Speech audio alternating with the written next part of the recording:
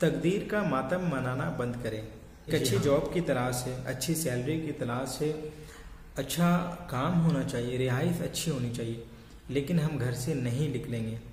आप घर से निकलोगे नहीं तो आपको जॉब मिलेगा कैसे? और जब आपको जॉब नहीं मिलेगा तो आप अपना तकदीर का मातम मनाओगे।